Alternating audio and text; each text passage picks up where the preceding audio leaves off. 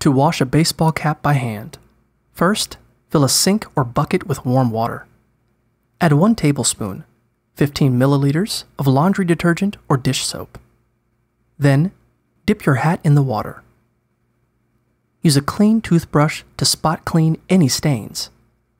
For stubborn sweat stains, apply a little shampoo to the stains and scrub it in with the toothbrush. Submerge your hat in the soapy water and let it soak for up to two hours. Then, thoroughly rinse the suds out of your hat under warm water. Gently pat the hat with a towel to remove excess water. Finally, place your hat on something rounded so it keeps its shape, like a jar or a balled up towel, and let it air dry.